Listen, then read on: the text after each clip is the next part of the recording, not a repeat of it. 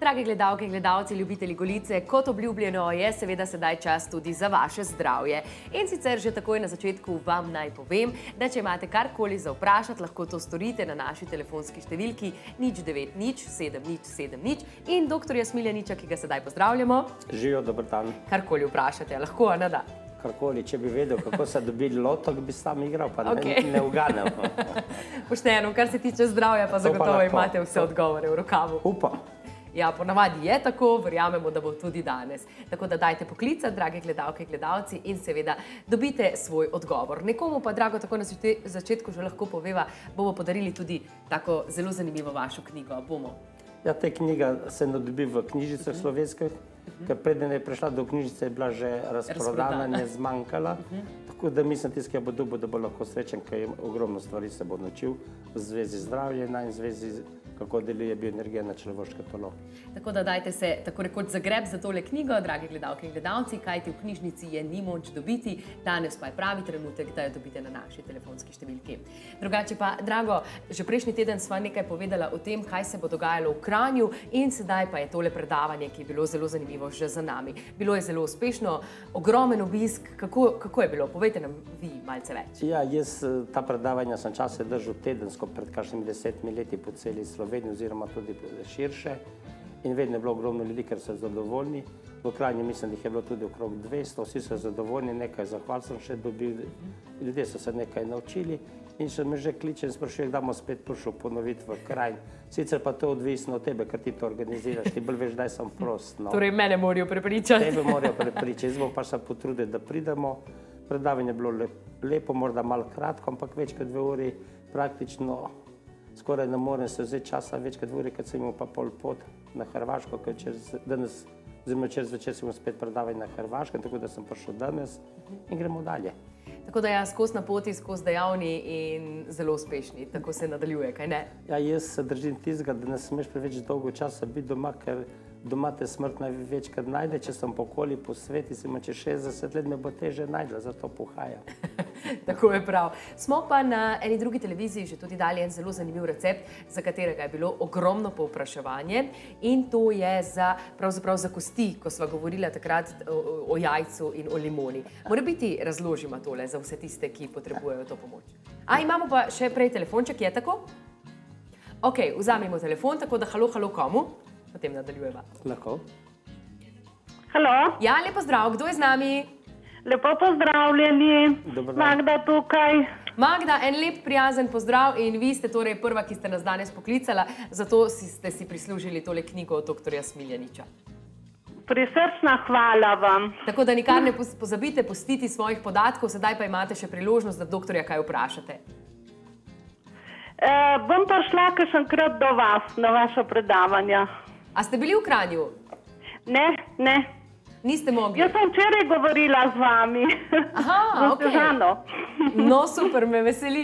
Se veste toliko Ja. klicev, da si ne zapomnim, ampak me veseli, da ste poklicali. Drugače nimate nobenih težav z zdravjem, da bi doktorja vprašali za kakšen nasvet? Ma jih imam, jih imam. Kar precej mogoče pre, za energijo, malo energije. Potrebujete energijo? Ja, Ja. poleg, ja, poleg najbolj, da pridete k naši, tukaj moji sodelavki, ona ima tudi dela v Mariboru bioenergijo, ki je uspešna. In zadnjič, ko sem imel probleme, bolečine, novenete, malo preveč sem delal, sem prišel Ja. k njej v roki 15 minut, me je nehalo boleti, tako da se je dobro naučila, da mislim, da skoraj prekaša že učitelja. Aha, aha. Tako da je dobro. Ja, jaz, jaz se trudim in jaz učim in čim več znanja dam ljudem. Rad bi, bil, da, rad bi videl, da so oni boljši, oziroma da so najboljši, da se jaz kasneje od njih učim. Ker nas, svet na mladih obstoji in na mojih teh šolah in izobraževanjih se resno se potrudim, da dam čim več znanja, kolikor lahko na tem nivoju, ki jih učim, ljudje sprejmejo, ker ne smemo pretiravati nekatere stvari, ampak lahko rečem, da te šole, ki jih delam po Evropi, ene so med prvimi, ker so bile ljudje ogromno znanja dobijo in vsi se lahko s tem ukvarjamo. Res je, tudi jaz sem dokaz za to, tako da gospod, dobrodošli, če se nam boste kdaj pridružili, sedaj lahko že ta veseljem, ja. Sežani ali pa lahko pridete v Kranj. Okay. Hvala lepa, ne Hvala. pustite pozabiti svojih podatkov. Ja. Kar se tiče ta predavanja, jaz imam v, v spominu dve predavanja, ki so bila pred leti, kakšni 15-20 let nazaj. sem eno predavanje po zimi bilo v Idriji, se ljudje poslušajo. In je bilo toliko predavanja, da nismo mogli imeti v knjižnici, da smo šli zvečer v 7-8 v grad, vem, da smo korakli, da nas je bilo ne vem koliko, cela Idrija se mi zdi. No, sedaj pa že imamo tudi naslednji telefonček, pa mora biti nekdo, ki pa je bil na predavanju. Halo, halo, lepo zdrav. Halo, dober dan. Dober dan, kdo nas je poklical? E, Seličeva iz Šentjurja, Marta. Lepo zdrav, gospa Marta, izvolite. Ja, čujte, jaz bi za tole knjigo, če je možno, kaj, kaj, kaj. Knjigo smo že podelili, lahko pa doktorja kaj vprašate ali pa poskusite svojo srečo prihodnjič, oziroma dajte se nam oglasiti na telefonski številki, ki se vam bo izpisala od spodaj na ek ekranu. in- Čujte, a za prodajo jo pa ni? Za prodajo ni, ne, da doktor je. Jaz knjige že več kot 15 let nimam, ker ni časa, da bi šel po natis. Zdaj nek, eh, bomo valjda čez morda mesec, dva na hrvaškem jeziku bom izdal, ker še nisem, ker dol me prosijo, pa na nemškem jeziku nekaj Ja. pripravljamo. Ja. Pa morda kasneje jeseni bomo naredili še po natis. Sam čas je treba vzeti. No. Jaz jih Ja, imam ja, imam, 15 let. imam dost problemov, zelo velik, ampak bi rada to knjigo. Ja, če čete kakšne Redu. nasvete in to dobiste te moje knjige v knjižnicah, tisto skrno zdravljenje na raka, pa knjigo o Ja. kiropraksi se da sposoditi. No.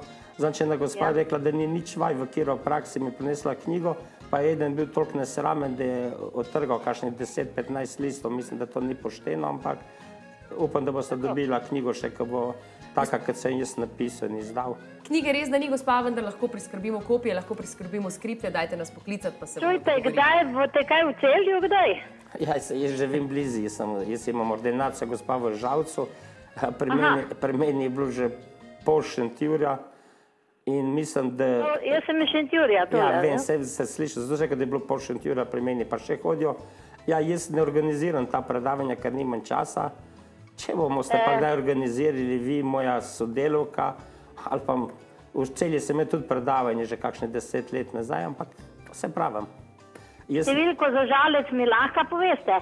eh, ja, ne vem, če lahko, če gos... Lahko torej bomo povedali, kar mojo pokličite nas, pa bomo potem se dalje dogovorili. Nič 4-1, gospa? Nič, štiri, ena, 5-5-2, pet, pet, dve, 7-1-6. sedem, ena, šest. Hvala lepa. Hvala lepa tudi vam. Morda dobro, da poveš morda spletni naslov tvoj. Ja, spletni naslov tudi za vse tiste, ki vas zanimajo dodatne informacije. Trikrat dvojni ve pika, bioenergetsko-zdravljenje.com ali pa trikrat dvojni ve pika, biomedika.si. Sedaj pa seveda še vedno dosegljivi za vsa vprašanja, ki jih imate, torej pokličite nas, dr. Smiljanič čaka, mi si bomo vmes privoščili nekaj glasbenega predaha, potem pa ponovno odgovarjamo na vaše vprašanja, pa še za kakšno knjigico poskrbimo. Prav.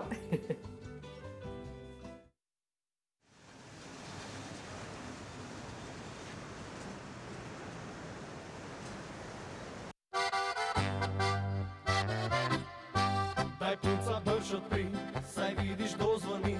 Bi celo noč se k tebi stiskal rad, nikar ne delaj se, kot da odveč ti je.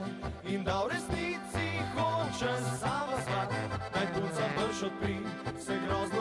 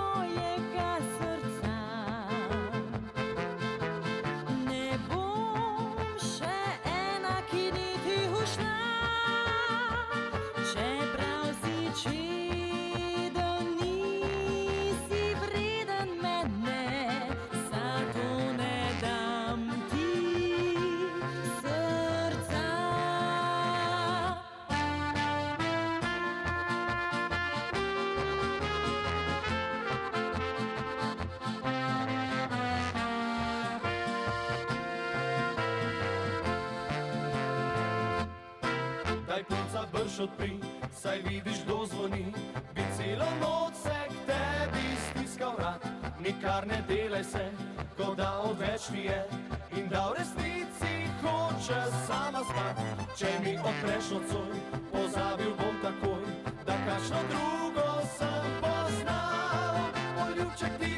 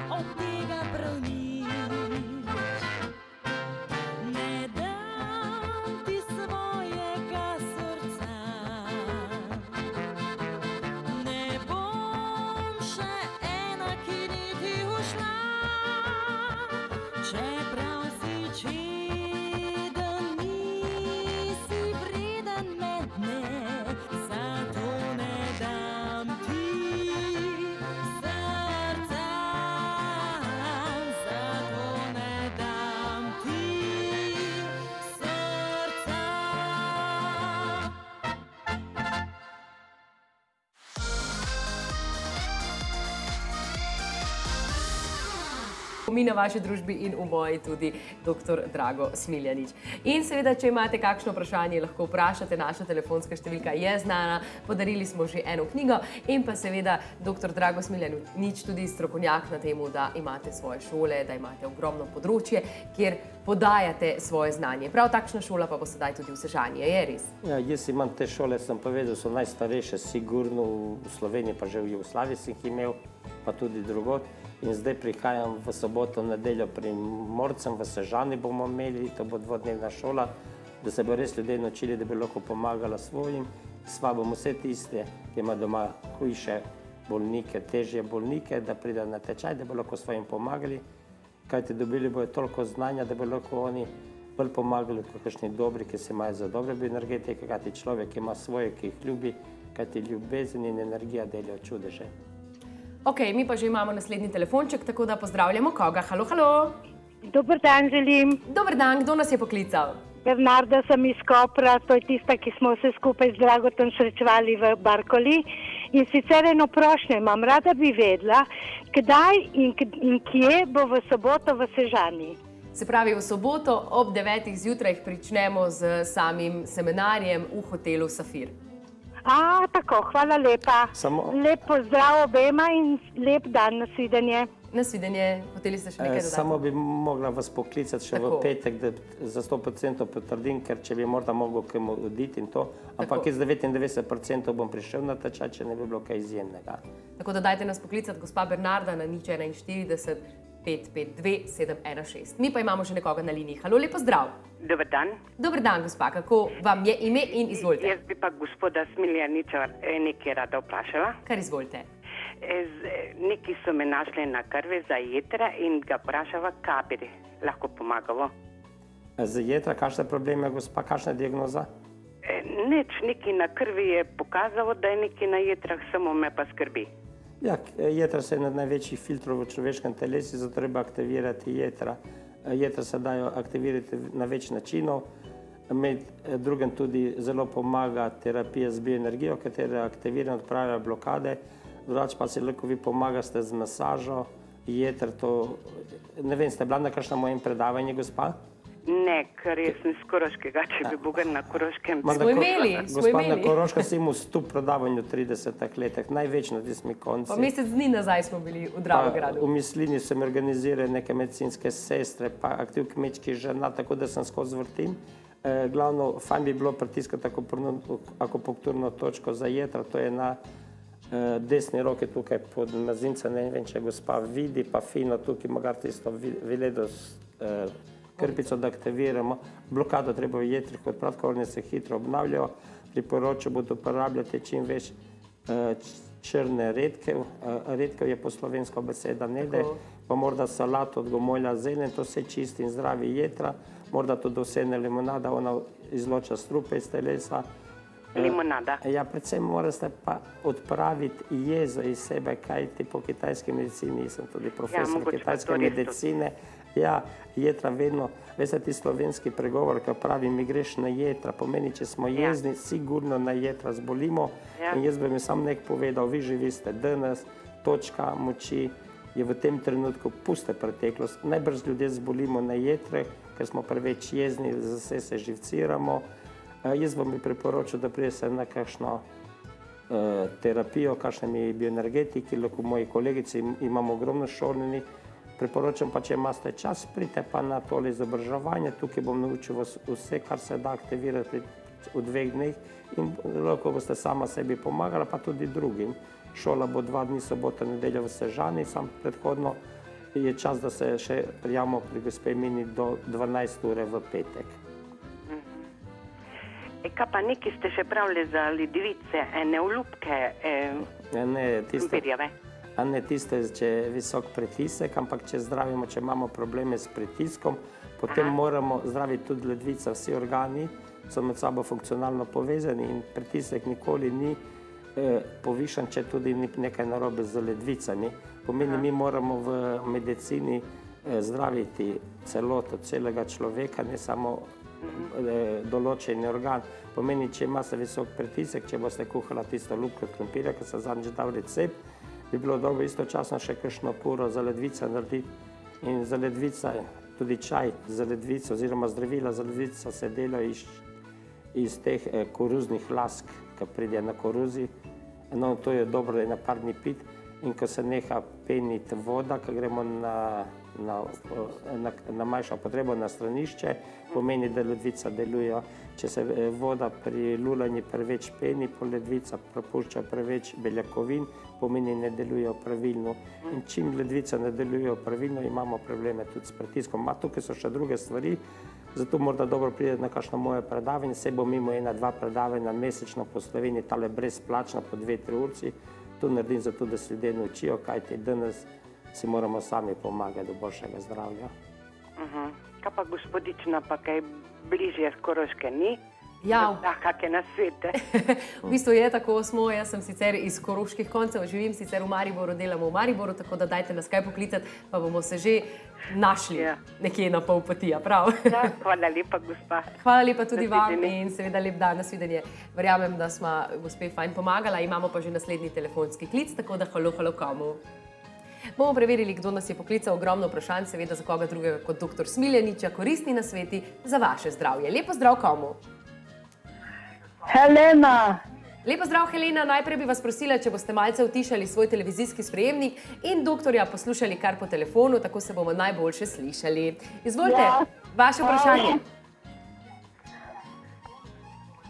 Kar, kar postavite vprašanje, gospa. Gospa Helena. dober dan. Dobar dan, gospa. Uh, jaz bi prosila, ko imam nešto na voljo, sklicam iz prekmurja. Kakšne težave pa imate, kaj vas zanima? Uh, ne morem iti na blato brez odvajala. Ne more, gospa, ne more iti na blato, Ja. brez odvajala. Če ne morem pomagati, slabo mi je bruhom in vse. Slabo je, gospe, pa še bruha. Ja, gledajte, gospa, če se ne čistimo dnevno, to se nabirajo strupi, toksini v telesu in zaradi tega pride do hujših bolezni. Če imate take probleme, lahko zboliste, če že niste na črevesah in boste imeli tudi probleme. E, tale eh, zdravila odvajala, jaz nisem za to, kajti to naredi več stranskih e, e, učinkov in škode zdravemu telesu, ne pa bolanemu. Lahko si pomaga sta na več načinov. E, če mi bi na tešče spila ena dva beljaka, eh, v- jajčna beljaka in enega dva na tešče, pa kasneje na to spila kakšen deci zeljne vode zevnice, to sigurno odpre in po nekaj dneh bi se znalo to umiriti. Če pa v netje morda črvesa, me dajte poklicati na telefon, pa vam dam še na svet, kako boste sanirali črvesa. Drugače pri presnovi pomaga tudi eh, če denemo čaj od tega, on je čaj za, tudi za kožo in za druge stvari, pa čaj od eh, orehovih listov. Ampak prva pomoč, mislim, za presnovo, da bi imela redno prebavo, pa bi morda šli na zeleno vodo, pa beljak, pa vas bo uredilo to. V, najte, v najhujšem slučaju, če se to ne bo uredilo, pa bi morda dobro pride do kakšnega strokovnjaka, kjer praksa, morda kakšen problem v ledvenem deli, pa se to scentrira, pa bi moralo funkcionirati. Hvala lepa. Hvala Prosim, lepa tudi vam in seveda želim. jaz tudi veliko zdravja. Bomo pa seveda sprejeli še kakšen telefonski klic, dr. Smiljanič je tukaj, zato da odgovori na vas, vaše vprašanje. Jaz predlagam, da si mi sedaj privoščimo še nekaj glasbenega predaha in kmalo smo spet nazaj. Tako da, če želite kaj vprašati, lahko.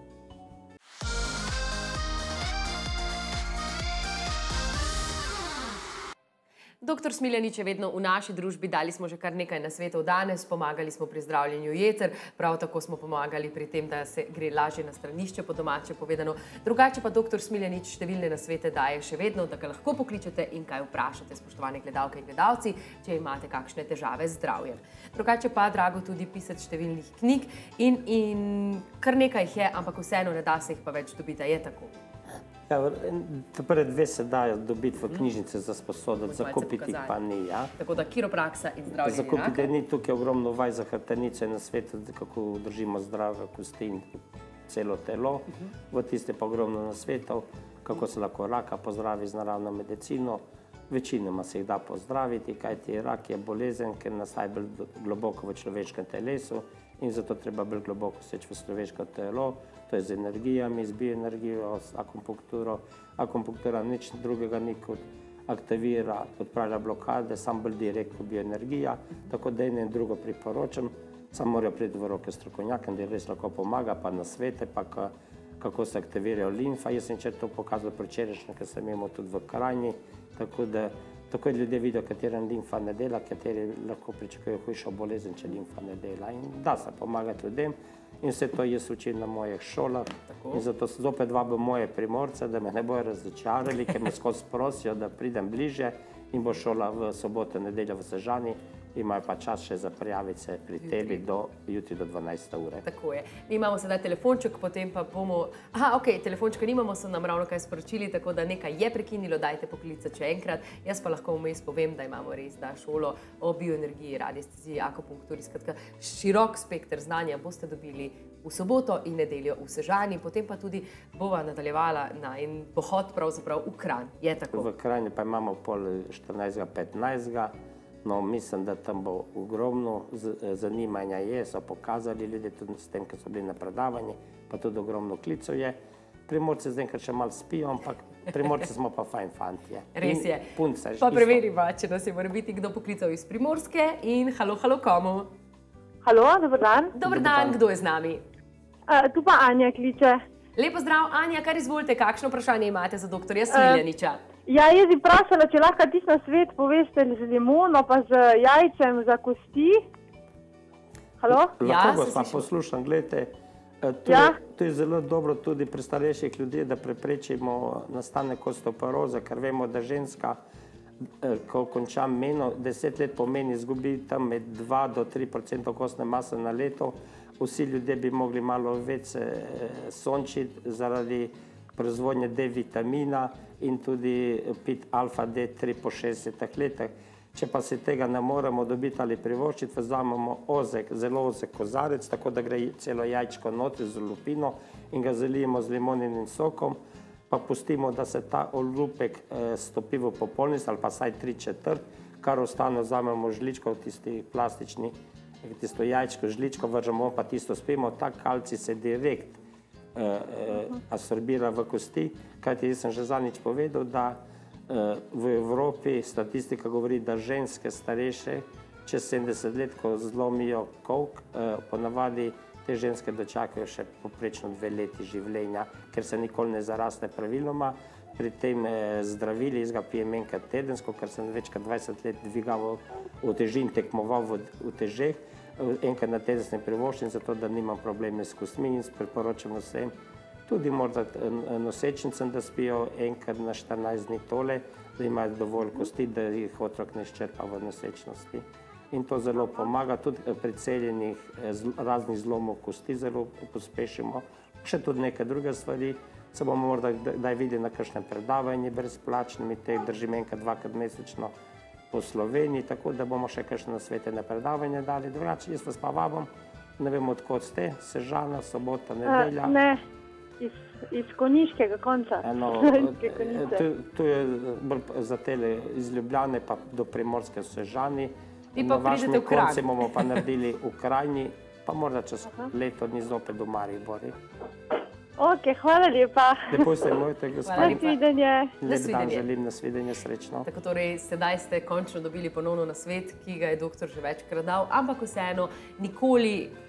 Je ga do, vedno ga je dobro vedeti, nikoli ni prepozno, da ga izveste. Tako da pokličite, če imate še kakšno vprašanje, seveda za dr. Smiljaniča. Z veseljem vam bo pomagal z raznimi naravnimi recepti, da boste seveda tudi vi malce bolj zdravi in si lahko pomagali sami.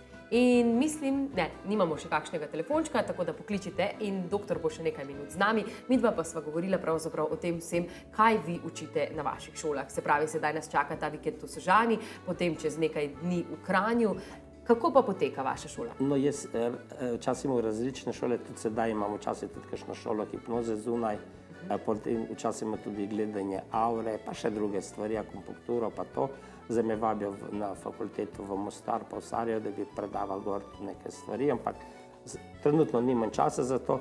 Kar se tiče pa šole bioenergije, eh, lahko se nauči vsak, ki je polnoleten, pa do 100 let je smiselna šola, ni zakomplicirana, ki zdaj me enostavne stvari, eh, tehniko naučim, pokažem prave prijeme in z malo prakse vsi so lahko uspešni.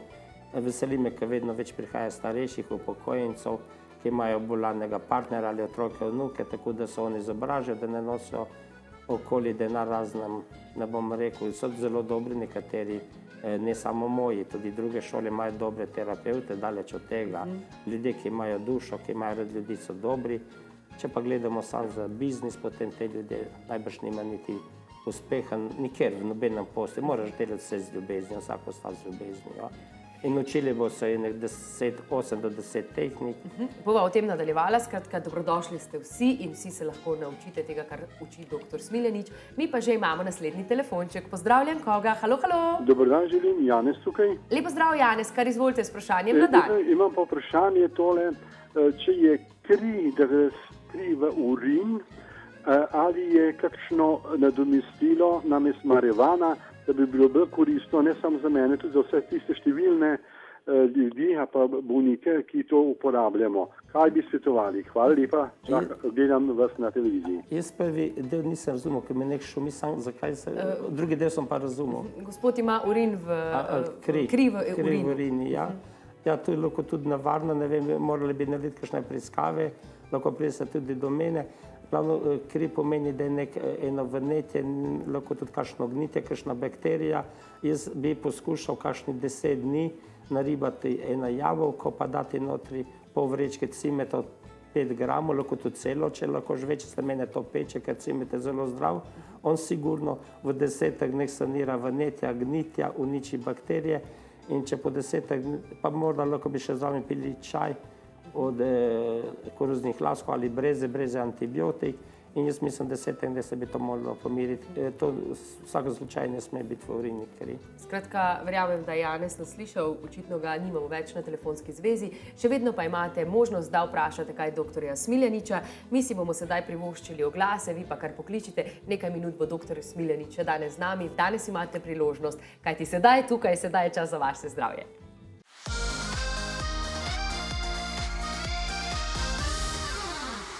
Tako in smo nazaj in telefončki nam kar pridno zvonijo, že imamo nekoga na naši liniji. Halo, halo in lepo zdrav komu.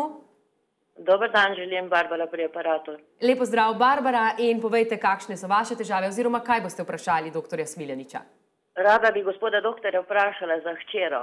Hčera je stara 32 let, imela je problem s ščitnico, je preveč delala in so ji dal na jod, s tem so jo pa za ščitnico zažgali. Zdaj ima pa kontra, ne da se pa redi, pa je zabuhla. Ja, za samo ščitnico bi jaz svetoval, da obiščete kakšnega dobrega terapeuta, lahko kakšnega od mojih učencev ali pa bilo koga, ki veste, da so dobri, če slišite, da jih ljudje pohvalijo, pol so dobri, ker tukaj Ja. naj, najbolj bo pomagala pa bioenergija, potem vam pa še damo na svete za masažo, uh, pa če, imate, če bi prišli k meni zbirati video, kakšen uh, diagnozo, kaj je, ker ščitnica, ogromno ljudje imamo problemov, In eh, mislim, da ščitnica je eden od važnejših žlez z notranjim izločenjem. Bi bilo dobro, da se aktivira, posebno če gospa, če je 32 let, ona je premlada, da bi začela skozi kakšne hormone umetne, to ni zdravo. Ja, ja. Aktivira se najbolj ali pa ustavi z bioenergijo, tiska znak, ker bioenergija mora biti v optimalnem razmerju in če viška prihaja do vnetja, do nekih problemov, če pa manjko energije, pa se telo hladi, slaba prebava, pa zbolimo. Na to se da lepo urediti z bioenergijo. Tukaj nekaj na svete, razen masaže, pa bioenergije skoraj jih ni. Pa No, ker določene ravno, za bioener- bioenergijo sem slišala, da je zelo uspešna na tem področju. Ja, se pravi, da je meni z bioenergijo spregledalo. Jaz mislim v Sloveniji okrog 30 ljudi, ki so bili slepi od rojstva, pa okrog 10 tisoč ljudi neplodnih sem pozdravil v zadnjih 35 letih. Tako da mi nosijo z cele Slovenije oziroma z cele Evrope dojenčke kazati. Tako bioenergija je uspešna, ker sem zadnjič povedal, da je človeško telo sestavljeno 99,99% z energije, potem ga mora zdraviti tudi z energijo, odpraviti blokade ali pa dodati energijo. Gospe, če bo prišla na kakšno terapijo, na kakšen posvet, pa pokažemo še določene vaje, ki jih prav tako tudi lahko izvaja, pa bo mora biti zdravje še toliko Jaz sem omenil punčko, pri 19 letih je bila visoka meter, se je bila z mano na dveh televizijah pred kakšnimi desetimi leti. Z vajmi, 19 let je bila stara, z vajmi aktivirali smo ščitnico, hrana za kosti, tako da je ona normalna, visoka 75, v 60 letih je zrasla do 25 leta. Vse se da, samo ljudje moramo sami na sebi delati, ne pričakovati, da nas bo drugi pozdravil, drugi nas ne bo, mi se moramo sami, zato treba znanje širiti okoli. Aha. Se pravi, lahko vaš naslov poiščemo, pa se na vas obrnemo. Lahko se obrnete na naš spletni naslov trikratdvojni.bioenergetsko-zdravljenje.com oziroma naša telefonska številka nič 41 552 716. Najlepša hvala. Hvala lepa tudi vam, gospa Hvala Barbara, vam. lep dan in nasvidenje. No, vmes pa nas je, ko smo ravno po- poslušali oglase, poklicala tudi gospa, ki vas je zelo pohvalila, da je veliko shujšala. Eh, Mene pa zanima, kako pravzaprav eh, tudi jaz bi lahko kakšno kilo. Boste dali mora biti kak nasvet Ja, veste, to? pred kakšnimi 18 leti so se mi smejali ogromno teh kiropraktikov, pa drugi, ker sem šel v bolnico, ker sem se pretrgal vse dimelsko kilo, trebušno kilo sem dobil, ker sem dvigal gospo na kiropraksi, ki je imela več kot 200 kil. In pol, ker sem se pozdravil, sem rekel, da ne sme k meni pride, dokler ne skuša, da je 100 kil. Pa rekel, da je pustila na tem zdravljenju v hujšini več kot tri golfe, da je imela.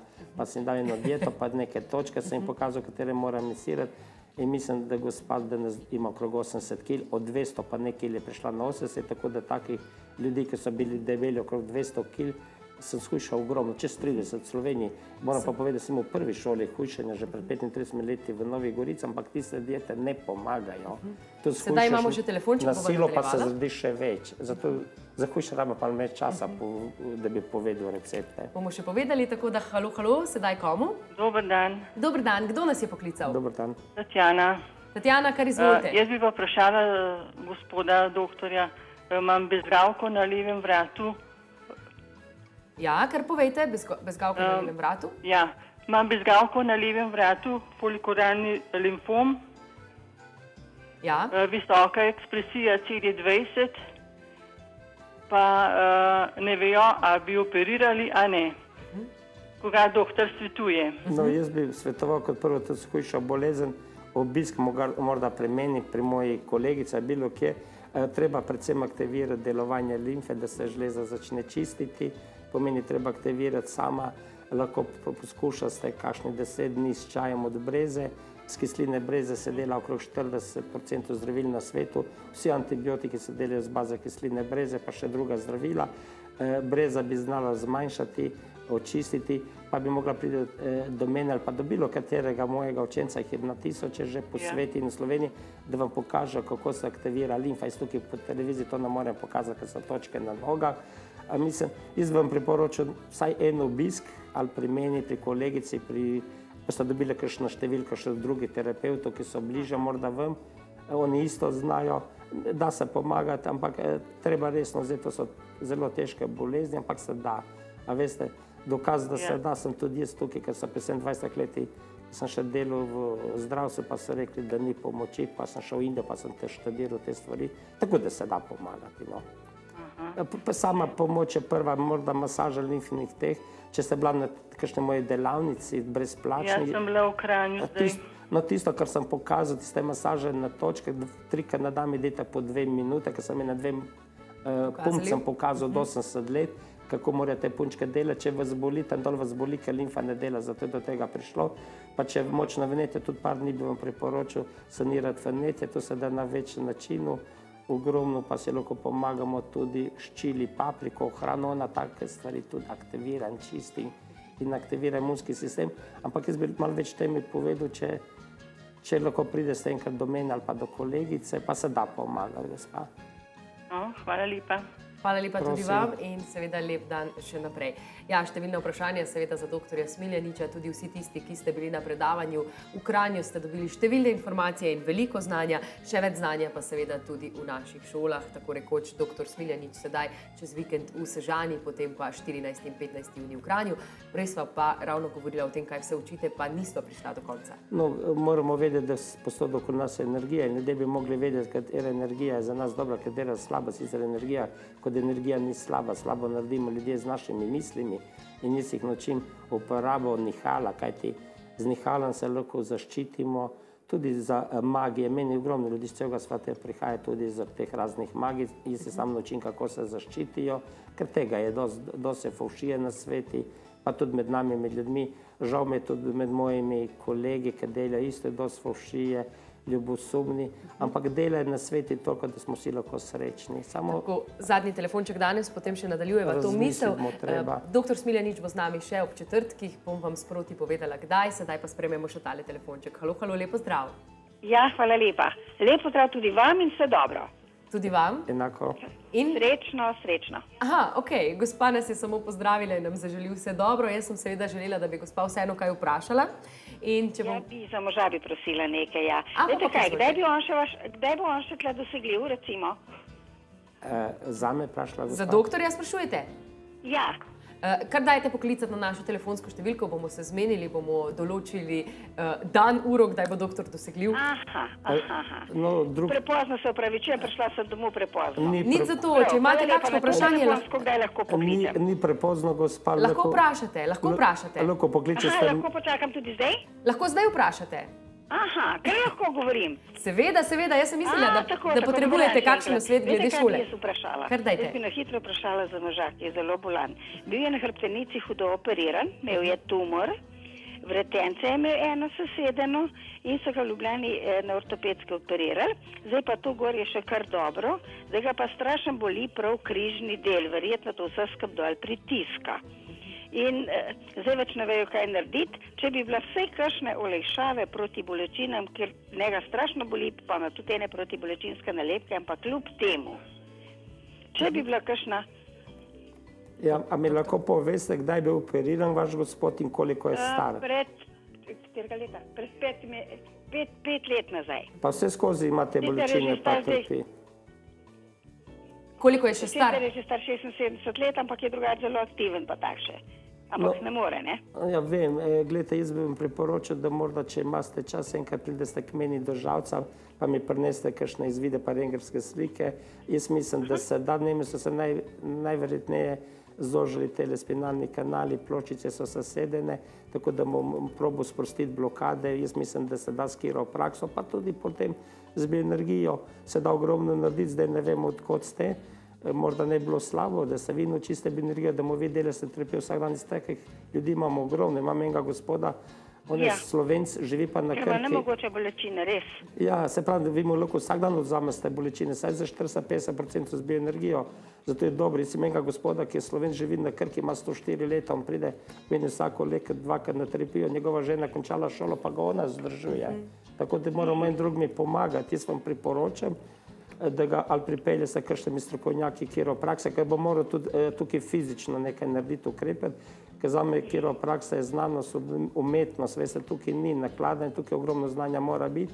In 76 let jaz delam tudi ljudi, ki so do 90-25 let stari kiropraksa, ampak so čist posebni prijemi, posebna tehnika, tukaj se pa ni za igrati. Zdaj bi Ja, pa, vem, vem. Jaz bi mogel videti, koliko je bilo poškodovano, koliko je od- odstranjeno, kaj mu je posledice pustilo. Ma najslabše slučaje ga lahko naučim, da si sam malo sprošča bolečine in to saj, če oblažimo za 50% ogromno naredimo. Ne, da, To bi bilo veliko, veliko, veliko. Da se, Da gospa. veste, kaj, pri njem je tudi problem zaradi tega, ker on se zelo težko zdaj pele v avtu, drugače ga bi še marsikam odkot- peljala. odkot ne, pa ampak ste, gospa? Velik, velik problem sedeti je najhujš neki, ne. Ma odkot ste vi? Jaz sem pa iz Bele krajine, iz Semiča. To ste bila premenjene predavanje, ena zima je bila, ki je bilo še sto zunaj, so Veste kaj, pa čakali. nisem takrat šla bolna, sem bila tudi jaz. Pa ta vaš gospod me je ne dvakrat rezerviral, tisto, kar se rekel, enkrat, da me je naučil slovenščino, ki mu tisto te Tamara, veste, ale veš. No, ma, se bom še kdaj prišel v Belo krajino, ker tam so mi fajn ljudje, pa tista pogača mi dopade, tako da bom sigurno prišel. No, no, no, no, vidite, Same moram ste povabiti. Eh, Veste pa- kaj, eh, lahko se vas na tisto oseben telefon pokličem, mobitel? Glede, jaz imam Piše nul- gor. 031 telefon, Ja. A čakajte samo moment, prosim. No, dajte me moment, lo- moment, ja, kar izvolite. 031 316 725, jaz se bom... 30, 16, 500. Eh, 031 316 725, jaz se bom vsakakor javil, ko sem v Sloveniji, pa ko bom šel kdaj mimo, se boste mi pustili naslov, pa bom jaz prišel vašega gospoda pogledati, ker jaz sem živel dolgo časa v Šmarjeških toplicah, imam to vem, največ prijateljev, imam tam dol v Belo krajini, sicer me niso prepričali, da bi dol živel, ampak bom pa prišel vsakakor leto še na dvakrat mimo, no. No, če bi, pa bi imela željo, sem prosila biti. Na vse se bomo zmenili, zdaj, ko ste imeli tole- Jaz, bi bila doma, ker mora biti večina. Ja, ne sebi jaz ne pridem, če niste vi doma, da vas naučim delati, ker vi morate znati mu pomagati, ne jaz. Veste, Ja, ja. jaz, pridem vas naučim in vi morate delati. No, Da bi ker karkoli mu proti bolečina pomagali. to bi sto procentno gospa mu bo pomagalo, sanirali bomo v netja in to, ampak Sej malenkost, če ne more do mene malenkost. priti, pa če kakšen od vaših pride, kdaj pa bom jaz pokazal, kaj treba delati. No. Ali pa če boste se s tistim gospodom zmenili, jaz sem rekel, da bom tudi slovensko učil, ko sem prišel v Slovenijo, so te Tamara, sem skozi poslušal, to mi je bila lepa oddaja, veseli to bogat. Vidite, Pa če bom kdaj poklical na kakšno predavanje, bom spet prišel. No. lepo prosim. Ja, bom, bom spremljala, Jaz- bom šla na to zraven. Če pa boste vi soglasni, pa... Ne se bomo zmenili, gospa me boste poklicala, pa sedmo sem jaz bolj malo dela, moram tudi jaz malo se sprostiti, pa lahko da pokukam kdaj belo krajino. No. Tam je lepo, tam so dobri ljudje, vsaka čas. No, ja, eh, tudi zgleda, da ste vi. Jaz se vam najlepše zahvaljujem, pa se pa lalke vidva, slišva, če bomo še Hvala. živi do takrat. Ne. In lep prisrčen pozdrav z Bele krajine, pa vse dobro tudi vam želim, pa veliko pomoči, da boste ljudem pomagali. Hvala, gospa. Jaz Pa sem, srečno bom rekla. Hvala. Hvala. Hvala vam, Sreč- prisrčen pozdrav. Srečno tudi vam, jaz lepe pozdrave. pred leti prav do shodu, ko mi je gospa rekla, je ena punčka, je imela velik tumor možgana, pa smo to nek sanirali, ampak je bila tudi pleša, zato sem hodil dol in lahko rečem, da se je laska normalno zrasla, da ni imela pol lasulje. Tako da gospa lahko tudi obišče našo šolo. Sedaj pa, drago, se nam je žal čas iztekel. Seveda pozivamo vse tiste, ki imate še kakšne vprašanja. Dr. Smiljanič bo še prišel ob četrtkih. Kdaj točno vam bom Mina sproti sporočala, vsak torek boste izvedeli, kdaj pride. Jaz pa sedaj predlagam, da še zadnjič povema, pravzaprav kam se pa lahko pridružijo gledalke in gledalci na našo šolo. Ja, eh, ti to eh, Bolj vem, ampak bolj veš, kot ti vseeno. to reš. Jaz sam vem, da jih bom navadil ogromno stvari, da bom z jih naučil uporabljati bioenergijo in tehnike, da ne bojo nič slabši kot bili, ker bioenergetike se pravi v Evropi, da je dobro, še boljši morajo biti. Naučil bom osnove z uporabe nihala, kajti da se znajo zaščititi od negativnega zračenja, morda tudi od kakšnih slabih reči. Naučil jih bom, da bodo lahko zdravili eh, vse in prijatelje in sodelavce in eh, svoje bliže in tudi sami sebe, da bodo naučili se, predvsem, da bodo dobri ljudje in da bodo ogromno deli in pomagali drugim, pa bodo bili pa uspešni. Tako torej 31. maj in 1. juni v Sežani, potem pa 14. in 15. juni v Kranju. Če želite, nas dobite tudi na trikrat vojni vepika, bioenergetsko-zdravljenje.com. In dr. Smiljanič za danes, hvala lepa. Ja, mislim, da bi lahko Hvala. sedeli tukaj še dve uri, kaj ti klici še kar dežujejo. Seveda bo čas še za vas, drage gledalke in gledalci, vsi tisti, ki ste morali biti oddaleč, boste lahko doktorja še kaj vprašali, ampak v prihodnjem tednu ali pa čez 14 dni. Ja, pred čez 14 dni, prihodnji teden imamo opr- opravka v tujini. Prav. Hvala lepa, dr. Smiljanič. Hvala tudi vam. Hvala seveda tudi vam, dragi gledalke in gledalci. Ostanite še naprej z nami, mi si bomo privoščili pa sedaj tudi nekaj glasbe, mina pa ostajam z vami do pol dvanajstih.